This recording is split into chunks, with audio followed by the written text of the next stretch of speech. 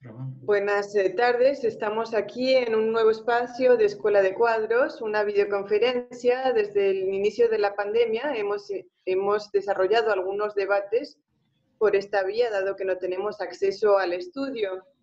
Y el día de hoy pues nos proponemos hacer un repaso sobre el capital, que no es poca cosa.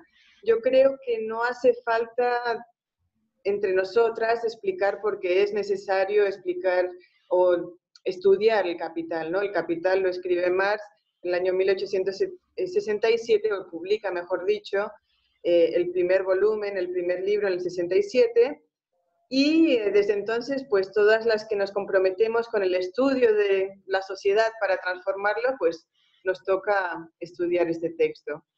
Así es que para eso, pues hoy nos va a orientar en la discusión Xavier Arrizabalo Montoro, que es profe de la Complutense y que también es autor de un libro que se llama Capitalismo y Economía Mundial. Asimismo, nos acompaña Manuel Asuaje Rebellón, que es profesor de filosofía.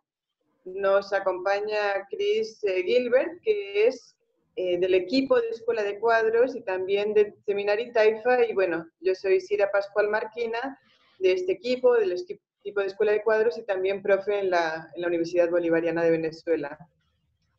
Para comenzar, eh, Xavier, y gracias por estar aquí con nosotras, quería pedirte que brevemente nos eh, expliques por qué tenemos que estudiar hoy, en pleno siglo XXI, la ley de valor, ¿no? ¿Por qué comenzar por allí y por qué, eh, y luego entraremos a la propia ley de valor? Adelante y de nuevo gracias por estar aquí.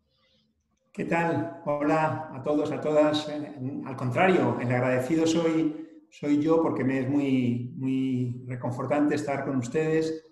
He visto todo el listado de la inmensa cantidad y de mucha calidad de actividades que, que llevan a cabo y un placer. Gracias de veras por la invitación. Y máxime, precisamente para tratar este tema, que muchas veces se presenta como si fuera un tema árido, inaccesible, salvo para especialistas, y que en realidad cualquier perspectiva transformadora, emancipatoria, requiere y que decir tiene que una fundamentación teórica, una comprensión, un diagnóstico adecuado acerca de las causas de los problemas. En definitiva, la conclusión de la que partimos es precisamente que el capitalismo no es reformable, que cualquier ilusión en un supuesto capitalismo bueno, capitalismo civilizado, capitalismo con rostro humano, como suele decirse, choca frontalmente con la realidad, digamos, con las pruebas empíricas que tenemos de que es una ilusión irreal, plenamente irreal, y también lo podemos comprender teóricamente. Precisamente la, clave, digamos, que, que nos lleva, a mi modo de ver, a estudiar el capital y a su estructura, en particular arrancando con la ley del valor, tiene que ver con el hecho de que los problemas, que ciertamente no son menores, como bien señalabas, Cira, los problemas no son resultado de la casualidad, sino que son resultado del pleno despliegue de la dinámica capitalista que obedece a leyes. Leyes, es decir, causalidades universales. Por ejemplo, el precio de la fuerza del trabajo, el salario, no es resultado de la casualidad, sino que hay una forma, desde luego que social, de explicarlo. Por tanto, Marx, digamos, que empieza por el principio, el regulador de la economía capitalista, las leyes que rigen la economía capitalista y, en primer lugar, la ley del valor que nos va a permitir entender qué es riqueza en la sociedad capitalista y más aún, puesto que incluso la capacidad de trabajar se convierte en una mercancía y por eso hablamos con, entre comillas, toda naturalidad, toda naturalidad en la sociedad capitalista de mercado de trabajo, la primera tarea será entender precisamente cómo se intercambian las mercancías, por extensión cómo se intercambia la mercancía fuerza de trabajo y a partir de ahí podremos entender algo que desde un punto de vista, digamos, más inmediato, sí detectamos con bastante facilidad, que es la rentabilidad que mueve la acumulación capitalista, pero mejor poco a poco. Eh, no sé si Manuel o Cris tienen alguna intervención. Eh, pero yo a partir de allí quería plantear, para ya entrar en, la ley de valor, pues que, a menudo se dice, o sea, que las lecturas convencionales de la, economía se dice que al final lo que determina eh, los, precios es la ley de la oferta y la demanda, ¿no? Pero entonces, si eso fuese así, pues, no sé, una barra de pan sería mucho más cara que, no sé, que una mesa o que otra cosa que, se, sobre la cual hay menos eh, demanda. Entonces, a partir de esa pregunta, realmente esa pregunta nos lleva a lo que es eh, la ley de valor en sí. Si pudiésemos brevemente irle entrando por allí a, ese, a ese tema. Y no sé si Manuel o, o Cris tenían algún aporte por ahora. Vale, pues entonces... Eh, claro que sí. El capital, cuyo título alude a la relación social que se establece precisamente en la sociedad capitalista, tiene un subtítulo, que es crítica de la economía política. Marx, que no era un sectario, no podría serlo, siendo, teniendo la pretensión científica, ni tampoco podía serlo políticamente, teniendo una pretensión revolucionaria, discute con los economistas burgueses. Pero los economistas burgueses tienen un límite. Los economistas burgueses dejan de mirar la realidad para asegurarse de no ver. Y por eso mismo, lo has explicado muy bien, Cira, ellos pretenden que solamente en el momento del intercambio se puede explicar por qué el precio es el que es. Esto es tan ridículo que basta pensar, por ejemplo, en un contexto de crisis donde se desploma la demanda y es evidente que nunca podremos comprar un coche, un auto por 10 o por 15 dólares. Todos sabemos simplemente que con eso ni remotamente podríamos cubrir el costo. Es decir, para aquellos que pretenden que en la superficie se explican los fenómenos, y aquí aparece la metáfora del iceberg. Tenemos que bucear hasta el fondo para conseguir la explicación. Hay que decirles que las mercancías no caen del cielo, sino que las mercancías son resultado de un proceso de producción y por tanto tenemos que empezar por mirar ahí, por mirar en el proceso de producción. Pero además hay algo muy interesante y es que en el capitalismo, la economía burguesa pretende que sus categorías son categorías naturales y no categorías históricas. Y esto es muy importante porque porque hay, digámoslo así, nombres comunes válidos para cualquier sociedad. Por ejemplo, cualquier sociedad tiene que desarrollar trabajo para producir los medios de vida que permiten su reproducción. Por tanto, lo singular de la sociedad capitalista no es que haya trabajo, sino la forma particular que adopta el trabajo, que es el trabajo asalariado, es decir, bajo la premisa de la fuerza de trabajo como mercancía. ¿Por qué importa esto? Porque las mercancías tienen una dualidad por una parte son bienes, pero por otra parte adoptan esa forma particular histórica de mercancías. Y a ambas cosas le ponemos nombre. Y decimos que en primer lugar están los valores de uso, los bienes. Yo estoy aquí apoyándome en una mesa y esto es un valor de uso. Y esta mesa seguiría siendo una mesa en la cual yo me puedo apoyar, puedo escribir, apoyándome en ella, si viviéramos en una sociedad feudal, esclavista, comunista, en cualquier tipo de sociedad, porque el valor de uso está ligado, digámoslo así, a las propiedades técnicas de la mesa. Pero además esta mesa cuesta 50 dólares, me estoy inventando. Y eso ya no es común a cualquier sociedad, sino que eso es la forma particular que adopta el bien, el valor de uso, mesa, en una sociedad presidida por la propiedad privada y regida, por tanto, por el intercambio. En nuestras facultades de economía, las de aquí, el primer fraude viene con que nos pretenden presentar la mercancía, el mercado, el intercambio como natural, para así presentarnos la propiedad privada, la apropiación privada como natural. Pero ni siquiera definen qué es el intercambio. El intercambio es la permuta de una propiedad por otra. Entonces tenemos el valor de uso para lo que sirve, lo que su nombre indica, y el valor de cambio. Vale para cambiarse. Pero ¿cuál es la pregunta?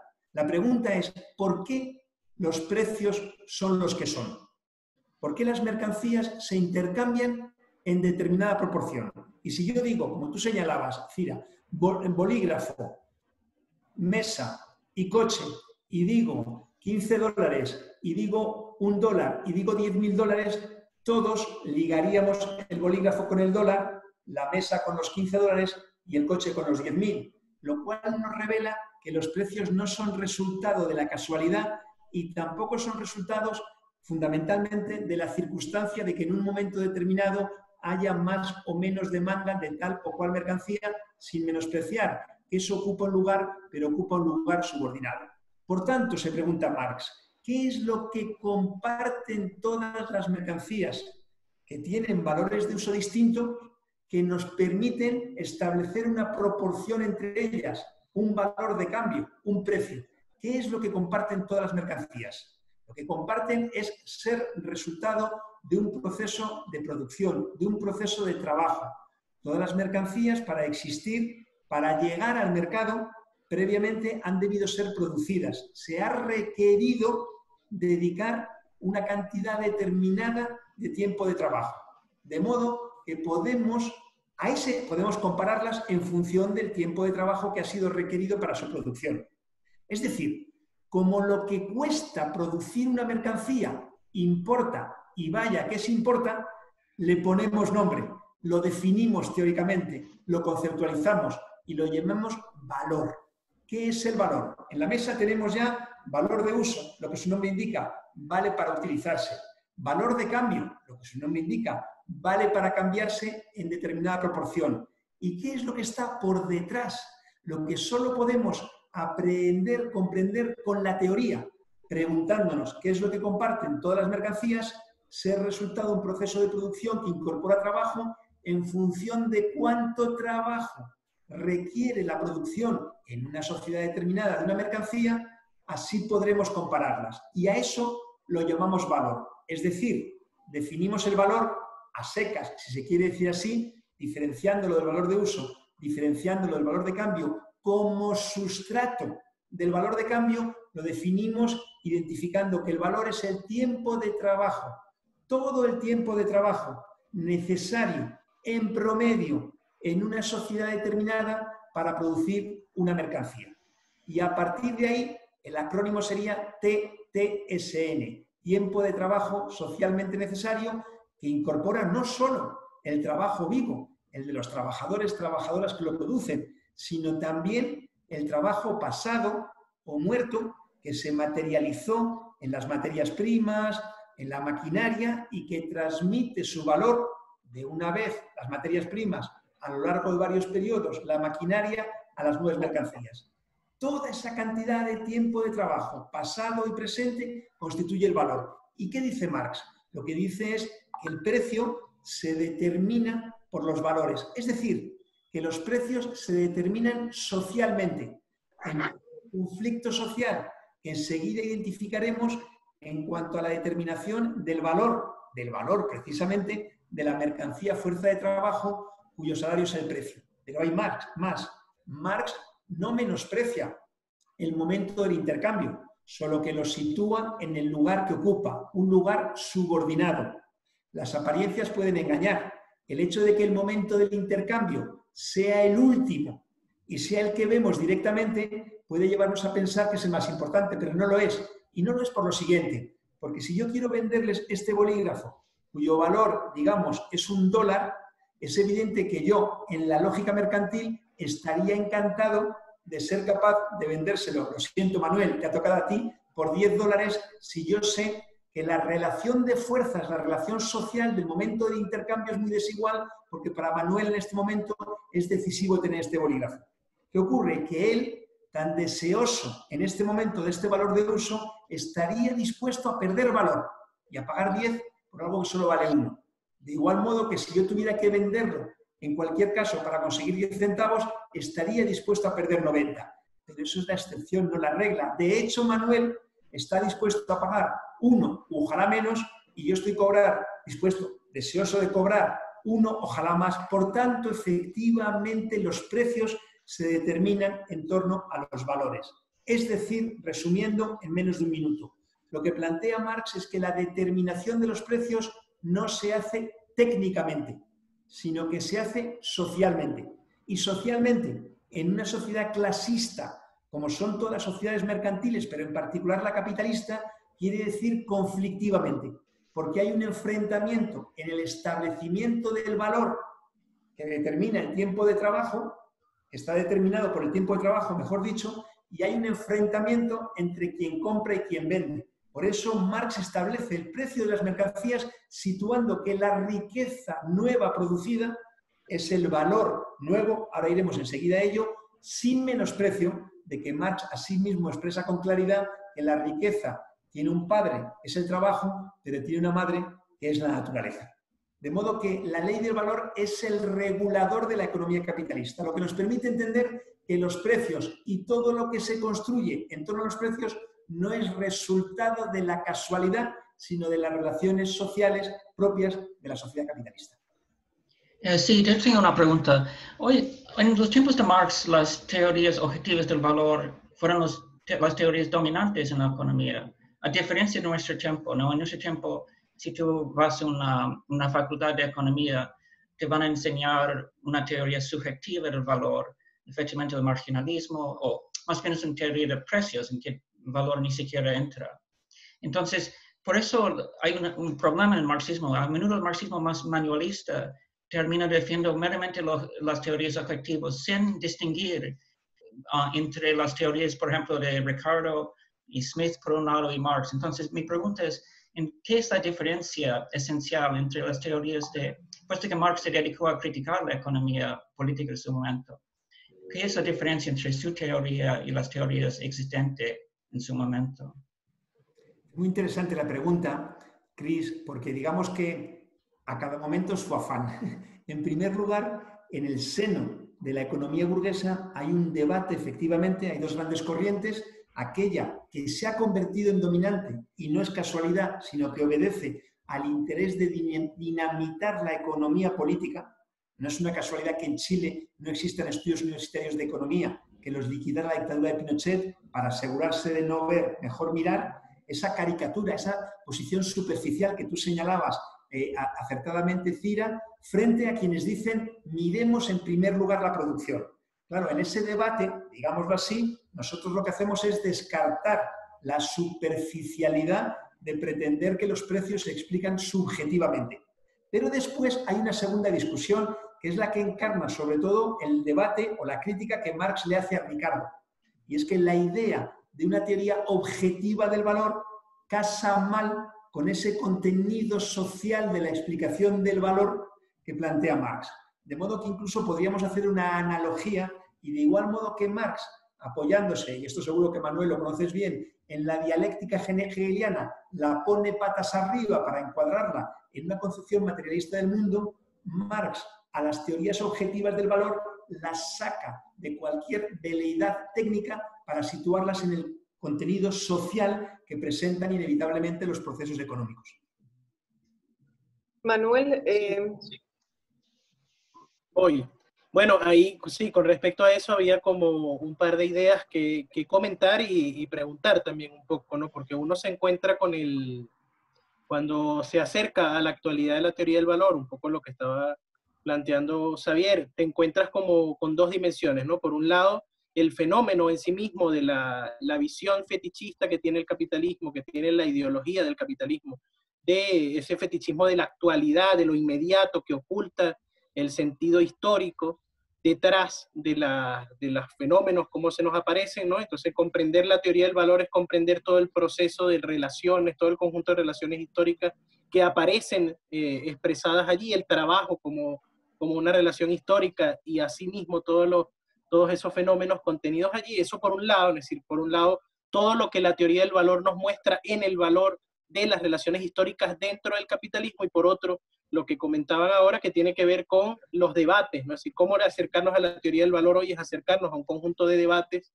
eh, históricos que se han venido dando, que se dieron en su momento cuando estaba Marx, pero que se siguen dando hoy en día. Entonces están como estas dos dimensiones de lo que aparece, que también está contenido en la forma expositiva del propio capital. Es decir, uno ve el acercamiento que hace Marx a las categorías abstractas en el comienzo del libro y cómo se van historizando en el tiempo, en la, medida en que avanzan los capítulos del Capital, cómo van apareciendo los debates históricos. ¿no? Esa, esta expresión del abordaje hoy en día también se expresa en el abordaje que hizo el propio Marx, es decir, acercarse al fenómeno del valor abstractamente, ir encontrando las determinaciones históricas implica ir encontrando también las determinaciones del debate histórico sobre la teoría del valor. Eso aparece en la, en la discusión y aparece hoy en día cuando volvemos sobre ella también.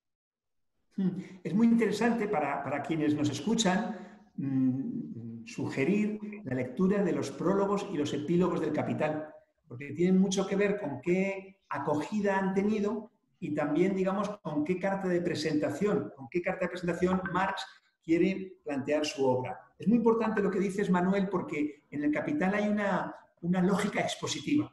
Es una lógica expositiva que parte de lo más abstracto y que paulatinamente va concretando. De hecho, a la luz del libro primero, en el libro primero Marx a veces se le escapa, entre comillas, pero no habla, por ejemplo, de competencia o no habla de finanzas. Y podríamos decir, ni falta que hace todavía, porque en la lógica expositiva primero hablaremos del capital en general, cómo se produce, libro primero, después del capital en general, cómo circula, libro segundo, y ya con esa base teórica, argumental, desplegaremos el proceso global de la producción capitalista. Pero además, Manuel ha señalado dos cosas muy importantes. La primera es el fetichismo, que muchas veces se oye hablar de eso y que, aun a riesgo de simplificarlo mucho, creo que se puede resumir en lo siguiente. Lo que se nos presenta con la forma de una relación entre cosas, te vendo un bolígrafo a cambio de un dólar, esconde una relación social. Y eso es imprescindible, porque si no entendemos el contenido social de los procesos, las cosas de nuevo pareciera como que caen del cielo. Y en segundo lugar hay una cosa muy importante. Precisamente el corolario de la ley del valor es que la suma de todos los precios es igual a la suma de todos los valores. Es decir, si yo le vendiera el bolígrafo a Manuel por dos dólares, aparentemente se ha creado valor, porque yo tenía un bolígrafo de un euro, de un dólar, y pasó a tener dos dólares. Pero en realidad Manuel, que tenía dos dólares, pasa a tener un bolígrafo de un euro. En el intercambio se puede redistribuir el valor, pero no se puede crear. ¿Por qué es tan importante esto? Porque partiendo de esto llegaremos a que solo hay ganancia cuando hay plusvalor, es decir, trabajo no pagado. Y por tanto, toda ilusión en que la ganancia puede ser simplemente una anotación contable es ficticia. Una anotación contable puede ser el mecanismo a través del cual alguien tenga ganancia mayor a cambio de que alguien la pierda lo cual nos permite entender la exacerbación de la competencia que deriva en las guerras por los mercados y en las guerras, que al final también son por los mercados, y en definitiva esa paradoja de partida de que cuando la humanidad ha alcanzado un mayor, digamos, desarrollo científico y técnico, esto no se traduce en una mejora de las condiciones de vida del conjunto de la población, sino al contrario, en un retroceso y una amenaza de retroceso incluso en las economías históricamente más avanzadas. Xavier, yo te quería hacer una pregunta que más o menos la, empezabas a responder eh, en tu intervención anterior. Básicamente, si las mercancías se venden más o menos aproximadamente por su valor, ¿dónde está la ganancia? O sea, si yo vendo, si esto, yo lo, este bolígrafo, un dólar, y yo lo vendo por un dólar, entonces dónde se ubica la ganancia. Parecería que todo es como muy justo, ¿no? Un mundo donde, de cómo se enriquecen los capitalistas. Y esa es la gran pregunta que plantea Marx de cómo es posible que sin incumplir la ley del valor, efectivamente aparezca algo extra, algo añadido. Entre medias, y nos saltamos esa parte, Marx explica a partir de la ley del valor lo que es el dinero, que también frente a la ilusión de que sería simplemente una cuestión de convención, en realidad el dinero simplemente es la expresión de una mercancía que actúa como equivalente general de todas las demás. Pero viendo lo que planteas, Cira, que es muy importante. La cuestión es la siguiente. Cuando yo dije el valor que era, dije el valor es todo el tiempo de trabajo necesario para producir una mercancía en una sociedad determinada, en promedio, etc. Repito, todo el tiempo. ¿Por qué aludí a todo el tiempo? precisamente para señalar que en la producción del bolígrafo o de la mesa de los que estamos hablando es necesaria la utilización. Recordemos siempre que hay una dualidad. Detrás de los valores de cambio está el valor, pero junto con el valor de cambio está el valor de uso. Solo porque hay valor de uso es posible que haya valor de cambio, es posible que haya mercancía. Por tanto, es necesaria la producción de la mesa. ¿Y la producción de la mesa qué requiere? Requiere una serie de materias primas, un tablero, requiere el uso de una serie de herramientas y, claro, requiere también el uso del trabajo vivo que combina esos elementos haciendo lo que llamamos la fabricación de la mesa.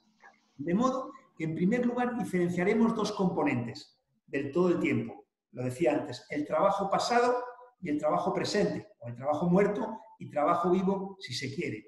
También Marx en ocasiones habla del trabajo solidificado, y es una buena imagen, solidificado, inamovible, como trabajo muerto que es, ya no puede crear valor nuevo, simplemente transmite su valor al valor de las nuevas mercancías. El ejemplo que decía antes, el tablero ya no existe, es parte de la mesa. La herramienta, a lo largo, digamos, de 10 años, ya no existe. Fue transmitiendo su valor a las mercancías que se produjeron con, ese, con esa herramienta durante 10 años. Trabajo muerto. Descartamos toda ilusión en que del trabajo muerto pueda crearse valor por su propia noción de trabajo pasado, solidificado, muerto. Por tanto, fijémonos en el trabajo vivo. Y yo creo que se puede hacer en dos, en dos fases. Primero, hagámoslo de una forma intuitiva. Imaginemos, por ejemplo, que la producción de las mesas tiene un valor de 60. ¿Cuánto valor se ha creado en la fábrica de muebles? En realidad no se ha creado 60, porque digamos que 20 ya existían, la materia prima, etcétera. Por tanto, 40. Y seguro que ya estáis intuyendo por qué me invento el número de 40, para compararlo con una jornada laboral semanal tipo de 40 horas. Entonces, no es una casualidad. El valor es equivalente a 60 porque son las 40 horas de la jornada de trabajo vivo más las 20 resultado de procesos productivos anteriores perdón, que nos hacen hablar de trabajo pasado o trabajo muerto. ¿Podrían los trabajadores aspirar a que su, su salario equivaliera a 80 mesas? Tenéis que decirme rápido, de ninguna manera porque ni las hay, hay 60, ¿de acuerdo? Y a 60 tampoco, porque en realidad no las hay, porque de las 60, 20 equivalen a lo que ya existía. Bien, hay 40, 40 es el PIB, 40 es el valor creado. Por tanto, la pregunta fundamental, ¿podría ser el salario 40? Es evidente que si el salario fuera 40, entonces no habría ganancia. Luego el salario necesariamente tiene que ser 40, perdón, menor que 40, pero ¿cómo puede ser menor que 40 sin violar la ley del valor que acabamos de establecer? La clave es la gran aportación de Marx al diferenciar dentro de la jornada de trabajo, dentro del trabajo vivo, dos componentes, de los cuales solo uno es mercancía, solo uno es pagado. Por tanto, la mercancía no es 40 horas. 40 horas es el trabajo que se despliega, pero la mercancía equivale, digamos, a 30. Y el trabajador, cuando va a recibir 30 mesas y, por tanto, imaginemos, el jueves al mediodía ya ha producido las mesas equivalentes a su salario, no puede irse a su casa hasta el lunes siguiente, sino que tiene que prolongar su jornada de trabajo el jueves en la tarde y todo el viernes para así producir las mesas equivalentes a lo que no le es pagado. Esta es la clave. No se viola la ley del valor porque el mecanismo crucial es que la mercancía fuerza de trabajo necesariamente es solo un subconjunto, una fracción de toda la jornada de trabajo. ¿Qué ocurre? Y acabo. Las, las apariencias pueden engañar y alguien puede decir, bueno, pero yo firmo un convenio de 1.750 horas anuales y me pagan todas. Claro, pero todas y cada una de ellas te las pagan por debajo del valor. Ese es el elemento sustantivo que permite explicar que, que la explotación no es una categoría ideológica o moral, aunque se exprese y debe expresarse, ojalá, en el terreno ideológico moral, sino que es la categoría científica que Marx detecta explicando cómo se intercambian las mercancías y el hecho neurálgico de la sociedad capitalista en el que, a partir del que la reproducción del capital, la reinversión, la acumulación se basa en que la jornada de trabajo siempre es superior a la fuerza de trabajo, es decir, la mercancía. El capitalista en el ejemplo paga tres y se lleva cuatro horas de trabajo. Sí, obviamente um, el capitalismo no es la primera sociedad en que, existía, en que existe la explotación tampoco es la primera sociedad en que existe un accidente. Obviamente eso viene desde la historia, ¿no? Cualquier sociedad de clase tiene explotación.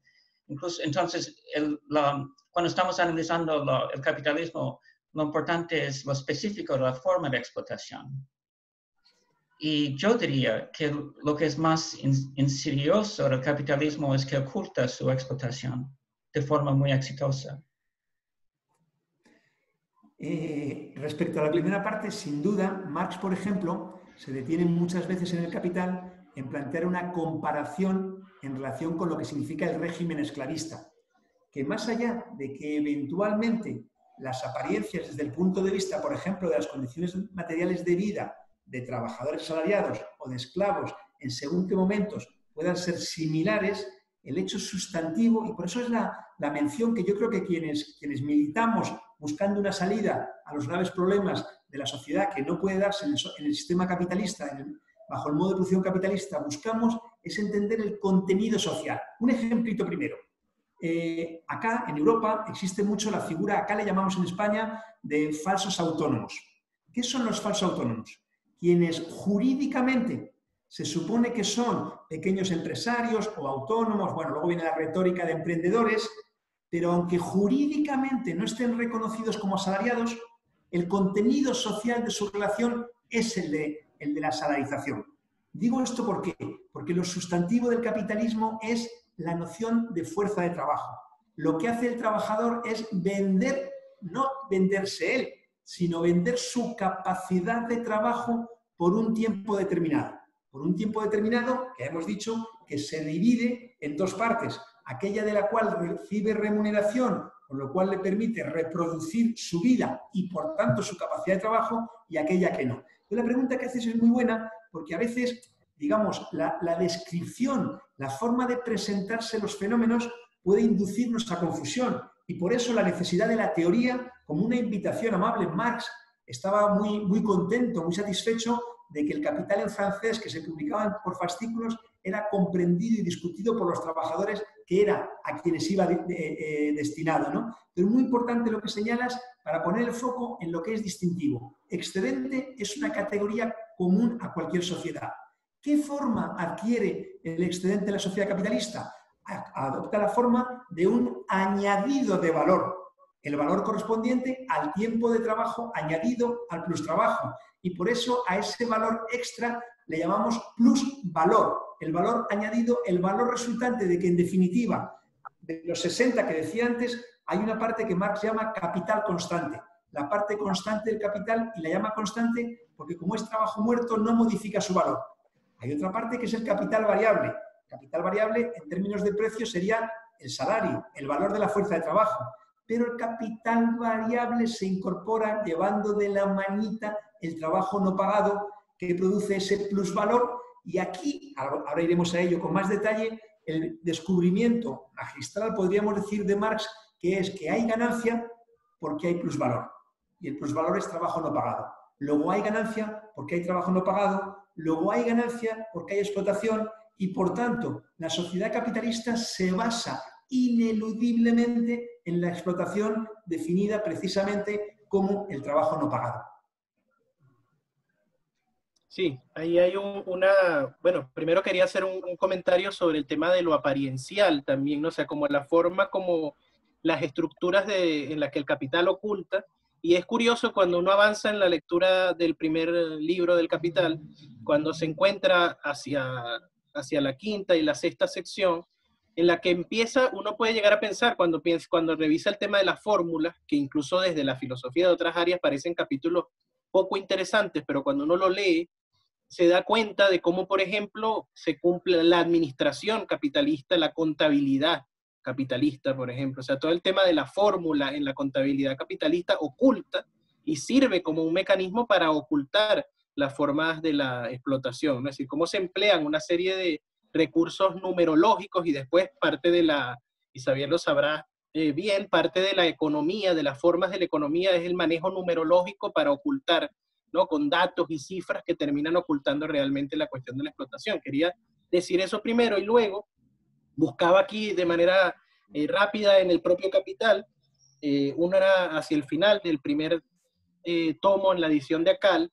Hay un parrafito muy ilustrativo sobre lo que comentaba Cris, ¿no? que es la diferencia con el sistema feudal, por ejemplo, en el que dice Marx ¿no? que así pues la forma del salario borra toda huella de la división de la jornada laboral en el trabajo necesario y plus trabajo en trabajo retribuido y trabajo no retribuido todo el trabajo aparece como retribuido. En el trabajo de la prestación feudal se distinguen de una manera palpable y sensible en el tiempo y en el espacio el trabajo que el siervo realizaba para sí y el trabajo forzado que efectuaba para el señor feudal. En el trabajo de los esclavos se presenta como trabajo para su amo hasta la parte de la jornada laboral en el que el esclavo no hace más que reponer el valor de sus propios medios de subsistencia, que esto es la parte en la que en realidad solo trabaja para sí. Todo su trabajo se presenta como trabajo no retribuido. Y en el trabajo asalariado, por el contrario, aparece como trabajo retribuido hasta el plus trabajo o no retribuido. Allí, la relación de propiedad oculta el trabajo que el esclavo hace para sí mismo, mientras que la relación de dinero oculta aquí el trabajo gratuito que el obrero asalariado, del obrero asalariado. Entonces, un poco ese tema del carácter, ¿no? Del capitalismo, una de las cosas que lo caracteriza es que vamos, prácticamente vamos voluntariamente al matadero, ocultos bajo esa forma de libertad que, esa, liberación, que es todo lo que ocurre, todo lo que hace violentamente el capitalismo, nos despoja de nuestras ataduras para que ocurramos, para que concurramos libremente al mercado de trabajo. Y eso, digamos, es una de, de las características específicas, o de tantas, que uno podría decir sobre el capitalismo en la forma de acumulación. Quería hacer esa acotación. Sí, muy interesante, Manuel. Efectivamente, todos los números presentan la ficción, y esto es muy importante porque además tiene un contenido ideológico y propagandístico muy potente, que es el siguiente. Todos somos remunerados en función de nuestra aportación lo cual cierra toda posibilidad de hablar en términos de explotación incluso en términos, digamos, de eh, ausencia de justicia, etcétera, ¿no? Este ejercicio además lleva un terreno. Si tú tienes una remuneración baja, la responsabilidad está en ti. Y ahí se levanta todo este edificio ideológico de la empleabilidad y todo esto, ¿no? Es muy importante lo que señalas de la libertad. Efectivamente, en realidad cualquier asalariado podría dejar de vender su fuerza de trabajo bajo la, la única exigencia de acostumbrarse a vivir del aire. Es decir, es la falacia de esa pretensión de que se va libremente al matadero, en el fondo. Es muy interesante un documentito de Marx del año 1848, está fácilmente accesible, que es el discurso sobre el libre comercio. Es una conferencia que da en Bruselas. Y es una maravilla precisamente porque lo que revela es que al final toda la retórica de libertad en una sociedad como la capitalista es simplemente la libertad de explotación. Hay algo más, por, avanzar un poquito, que me parece importante, que es lo siguiente. Sobre la base de la ley del valor que tú planteabas, Cira, y aplicada al mercado de trabajo, tal y como hemos comentado, la conclusión, por tanto, es que el conflicto de clases, la lucha de clases no es resultado, repito, de una cuestión ideológica, sino que simplemente expresa el hecho material sobre el cual se asienta la reproducción en la sociedad capitalista. Pero además, cuando estamos diciendo que hay ese plusvalor esa masa de trabajo no pagada, que es igual a la masa de ganancia, abrimos el terreno para que lo, lo que luego Marx en el libro tercero planteará como un segundo conflicto subordinado a este, que es la pugna competitiva. Que cuando Marx en, ese, en esa trayectoria, digamos, de bajar de lo más abstracto a lo más concreto, como tú señalabas, Manuel, introduce la existencia de capitales en plural, el requerimiento para cualquier capitalista que ese y no otro es el contenido de la competencia, es ser capaz de valorizarse, de rentabilizarse en la proporción suficiente, en un marco en el que otros también tienen que hacerlo. Y un marco presidido porque la cantidad de plusvalía a repartirse como ganancias individuales está limitada. Y está limitada en particular, aunque estoy yéndome casi al final, por el hecho de que Marx detecta finalmente otra ley que podemos identificar como la conclusión teórica de capital. Y es que la rentabilidad, la tasa de ganancia, tiende a caer.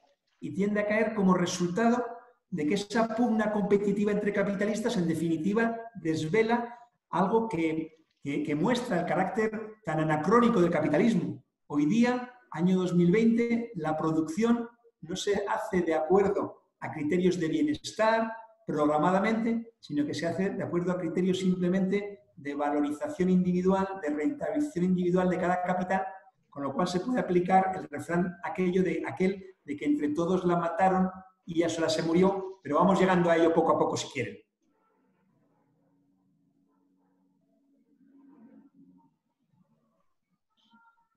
bueno, continúo. Continúa.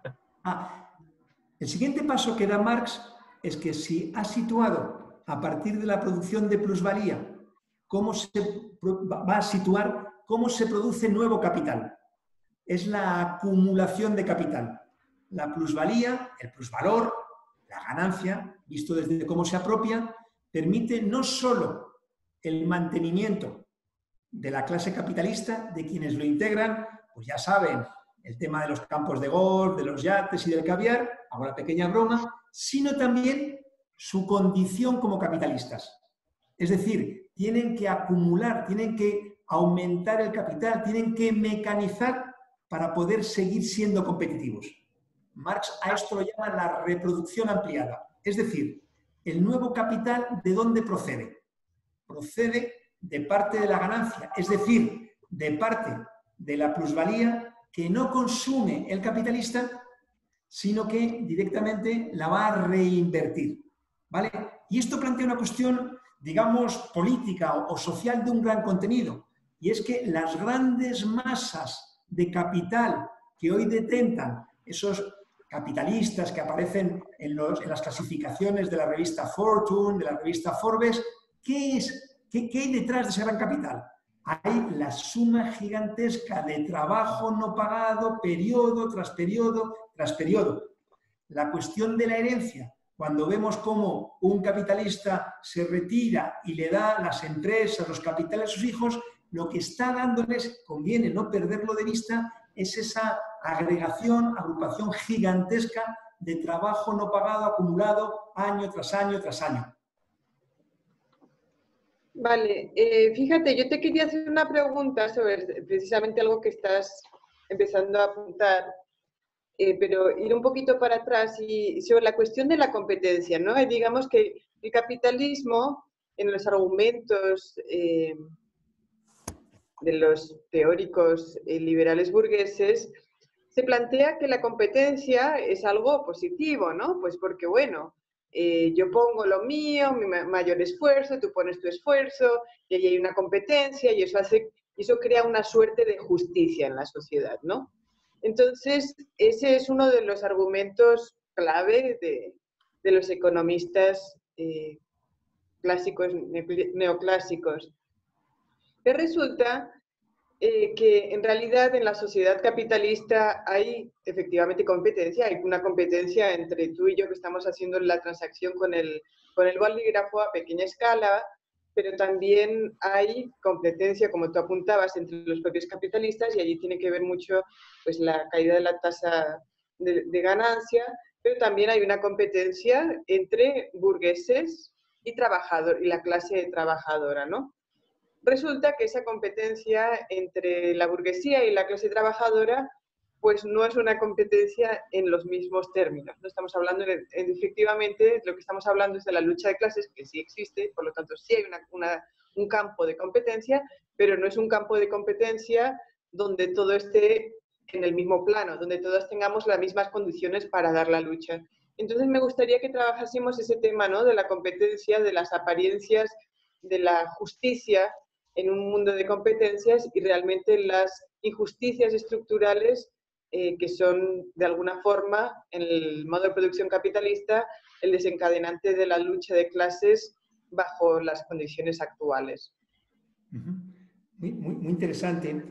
Lo primero que yo creo que hay que señalar es que Marx pone en el centro lo que está en el centro y por tanto pone a los sujetos en conflicto.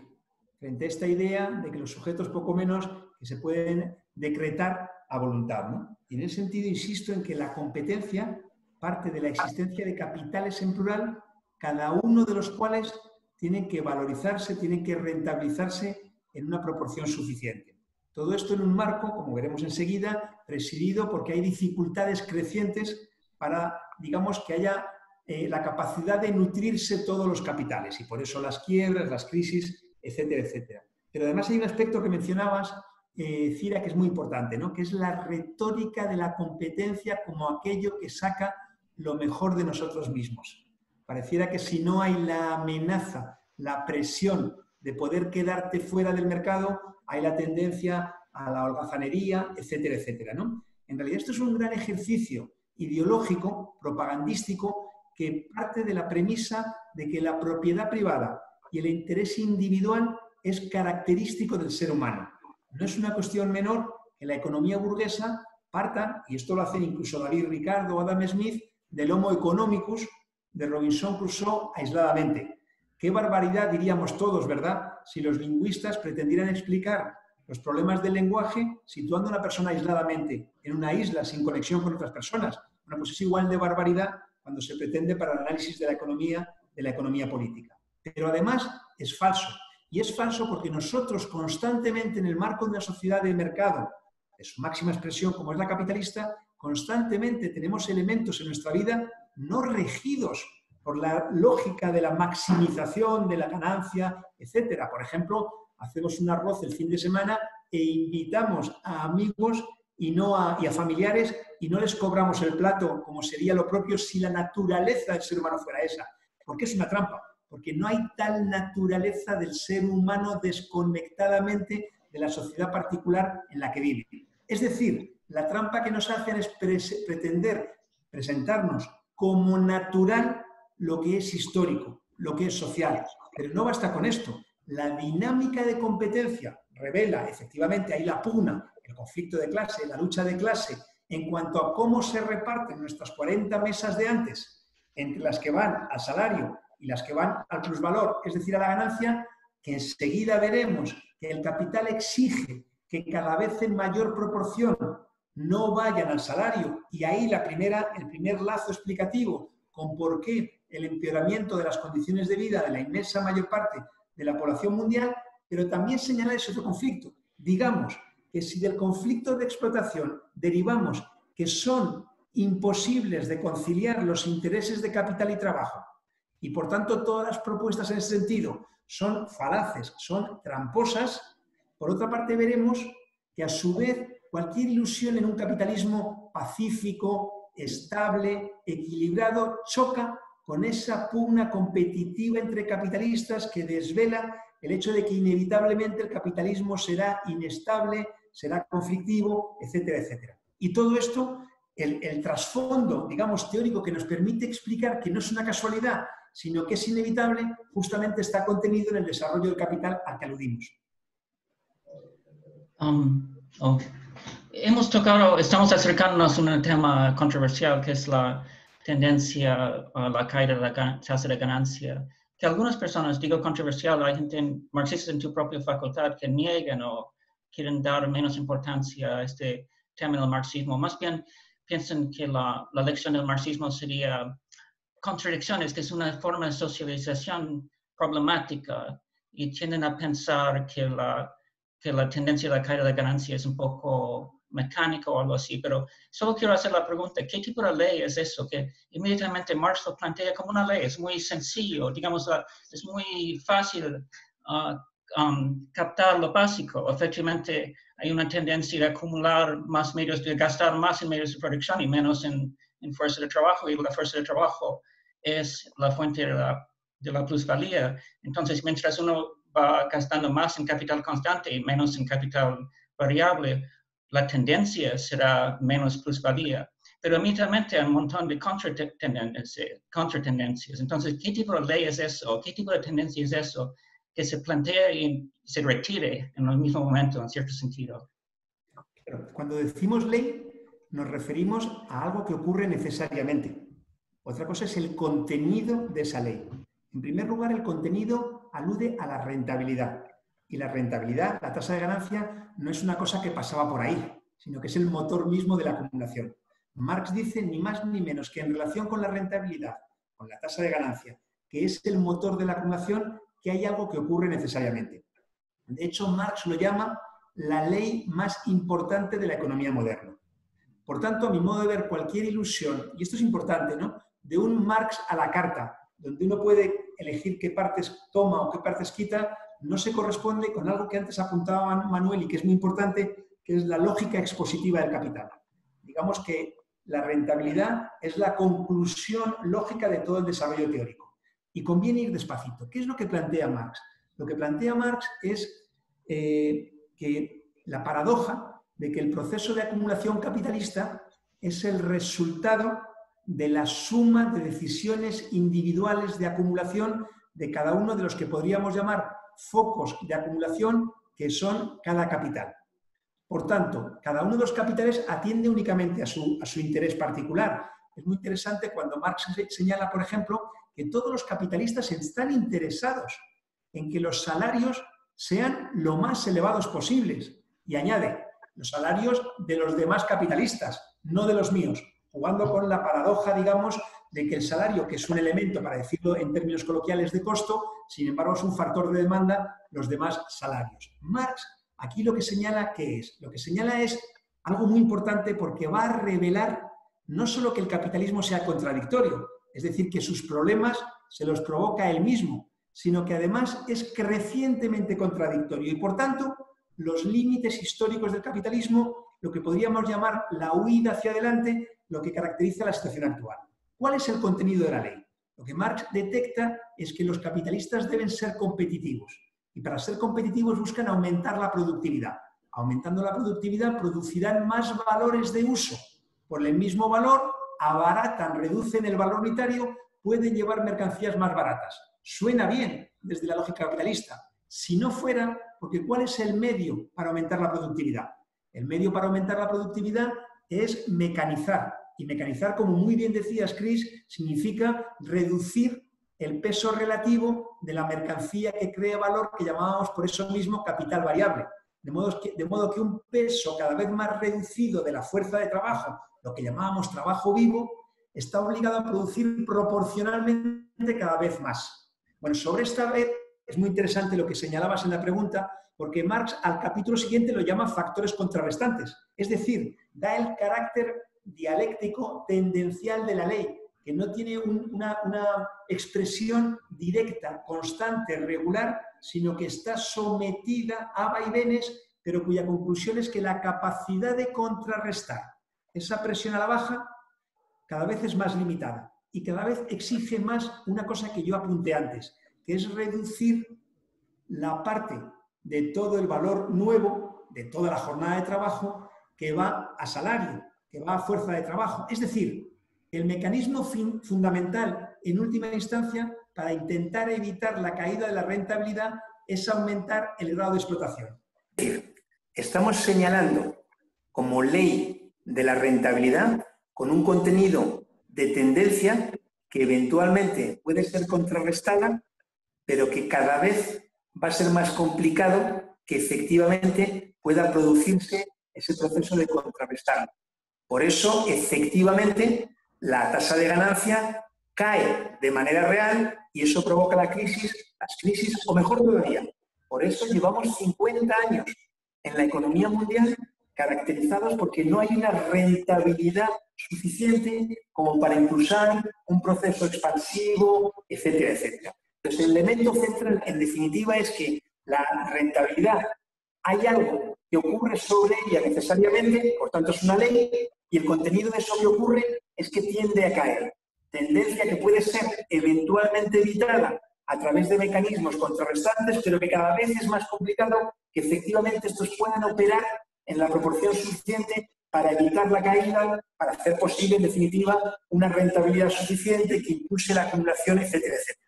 Por eso, mi énfasis en señalar, primero, que no es solo que el capitalismo sea contradictorio, sino crecientemente contradictorio, lo cual nos lleva a la discusión de sus límites históricos, y segundo, su expresión en términos de que no es solo que bajo el capitalismo no podamos aspirar a que los avances científicos y técnicos redunden en mejoras de las condiciones de vida del conjunto de la población, sino que incluso aquellas condiciones de vida que se han arrancado hoy están en el punto de mira ligado ese cuestionamiento directamente a las exigencias de la rentabilidad, lo que abunda en la premisa de la que tú partías, Cira, en cuanto a la pertinencia de seguir estudiando el capital.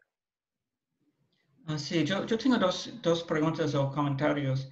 Uno es que tú hablas de, límites, de los límites del capitalismo y obviamente hay diferentes tipos de límites. Los matemáticos hablan de límites, pero lo que más, cuando pensamos en límites, lo más fácil de entender sería límites de un campo de fútbol algo absoluto, ¿no? Que se, se puede observar fácilmente. Pero obviamente estás hablando de otro tipo de límite, entonces me gustaría que expliques un poco qué tipo de límite, bueno, hablas de límites del capitalismo.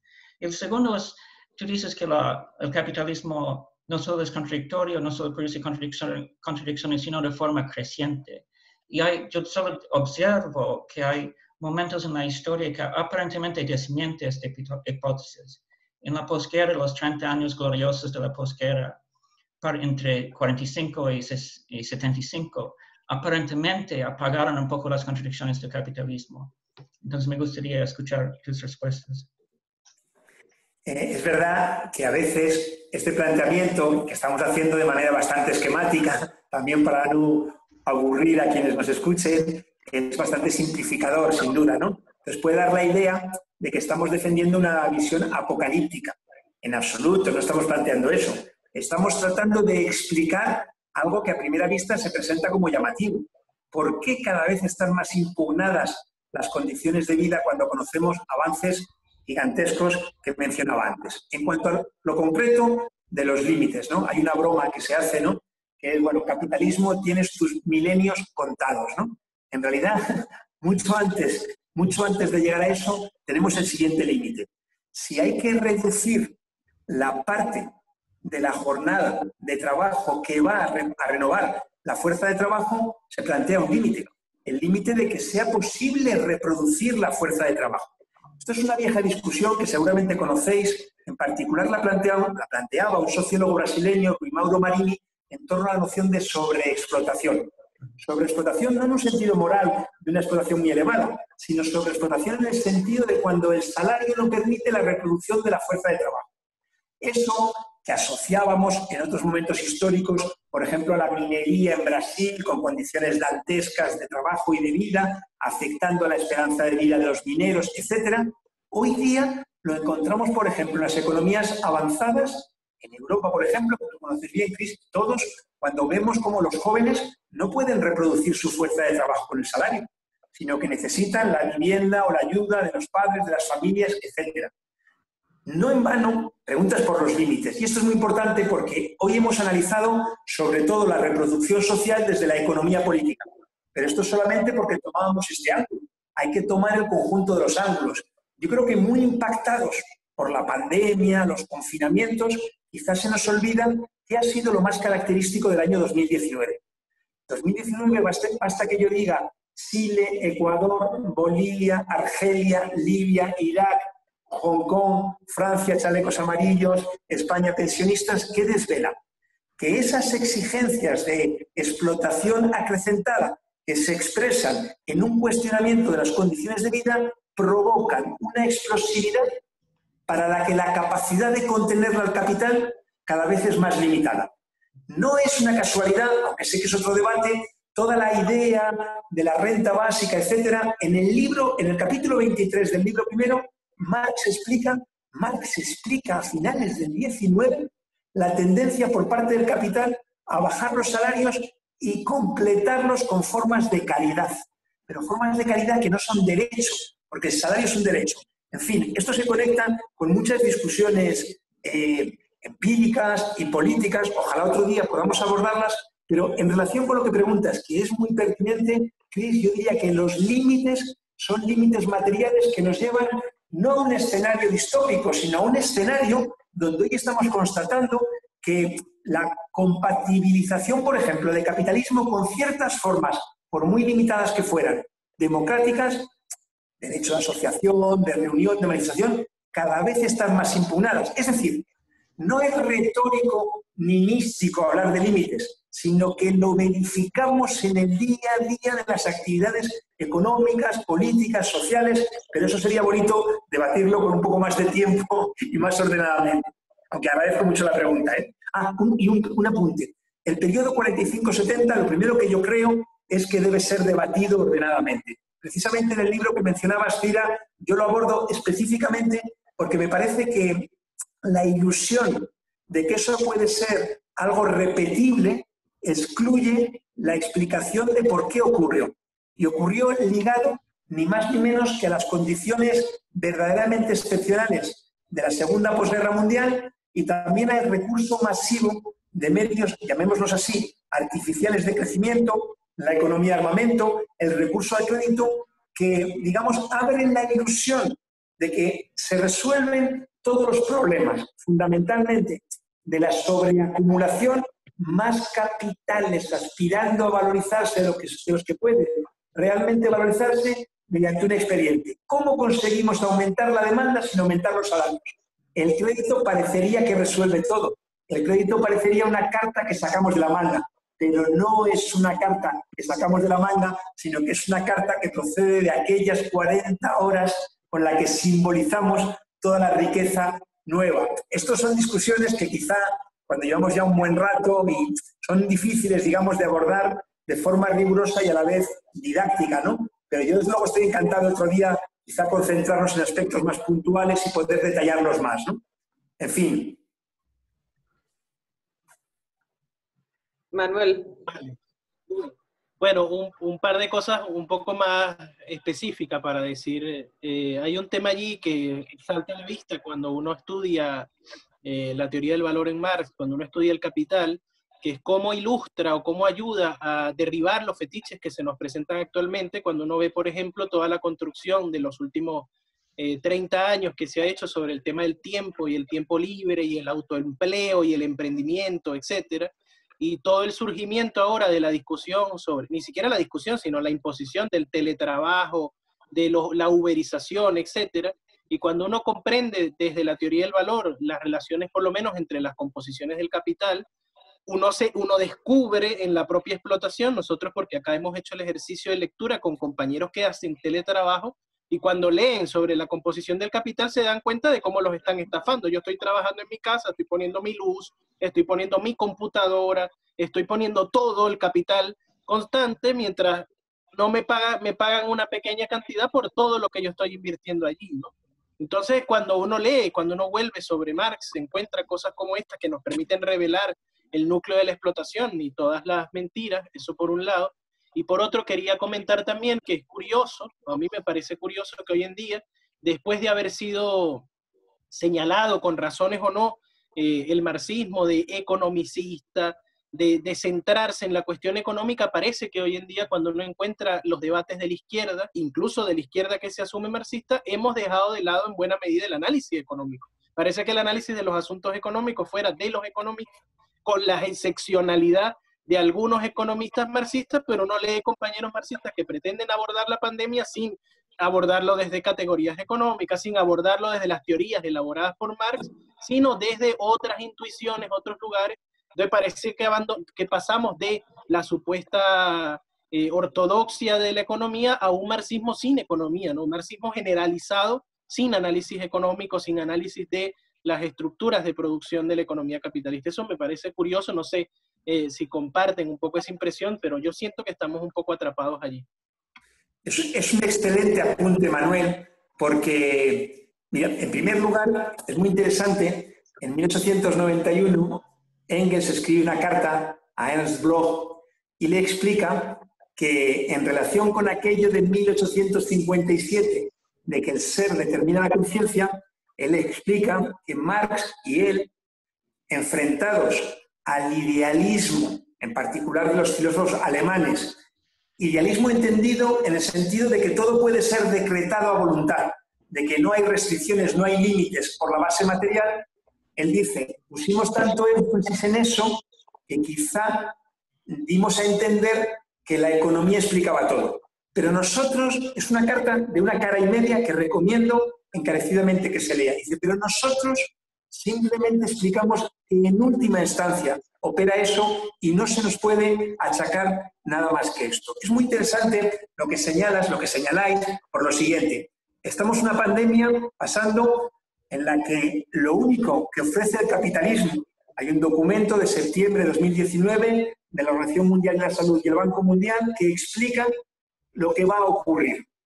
No es una cosa conspiranoide, está escrito. Banco Mundial, Organización Mundial de Salud, septiembre de 19. Y dice, el mundo no está preparado. Y es verdad, el mundo capitalista no está preparado.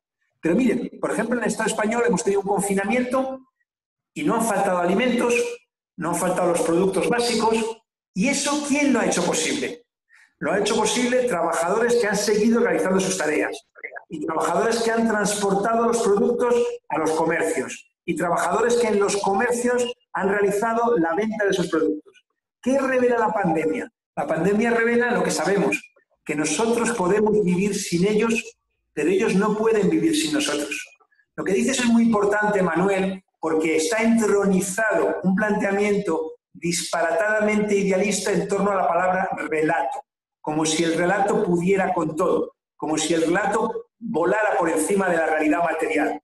Y yo creo que a esta idea del relato omnipresente, y no menosprecio los aspectos ideológicos, por supuesto que no, pero a esta idea del relato omnipresente yo le pondría lo siguiente, que se puede engañar a uno muchas veces y a muchos una vez, pero no se puede engañar a todos todo el tiempo. Miren el ejemplo chileno que es valiosísimo, porque ahí sí que estaba todo atado y bien atado, la idea de que incluso sin migajas, con la ideología, peyorativamente dicho, bastaba, y no. Y lo que queda que es el enfrentamiento directo, la represión, represión que no expresa la fortaleza de un régimen, sino su debilidad.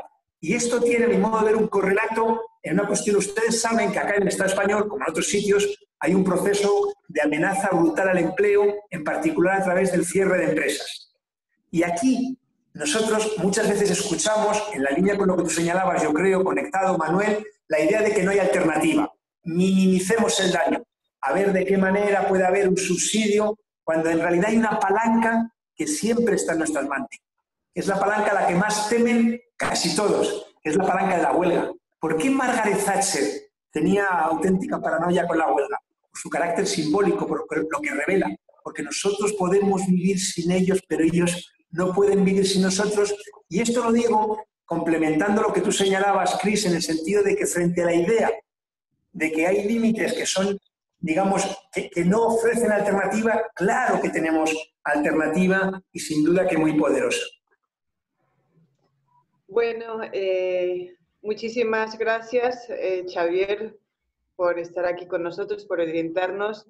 Realmente ha sido eh, un, pedagógicamente, ese recorrido por, el capital creo que ha sido muy valioso para, para nosotras y ojalá también para la gente que nos está viendo, a los compañeros y compañeras que están viendo esta videoconferencia de Escuela de Cuadros. Entonces, yo lo único, realmente lo único que tendría que resaltar una vez más es que una de las cosas que hemos eh, aprendido o refrescado en la jornada de hoy es que eh, el capitalismo es irreformable, que tiene unos límites, eh, que hay unas contradicciones internas, que tiene unos límites, que es irreformable y que por lo tanto, dado que es injusto, etcétera, etcétera, explota, pues que es necesario superarlo. No, no podemos eh, buscar eh, pañitos calientes, como decimos en venezolano, sino que tenemos que buscar una salida radical y construir una nueva sociedad. Entonces, de nuevo a todos, gracias por estar aquí con nosotros, especialmente a Xavier, y eh, nos encontraremos en un nuevo espacio de, de formación y de debate en este momento, en el contexto de la pandemia, pues por esta vía, por videoconferencias.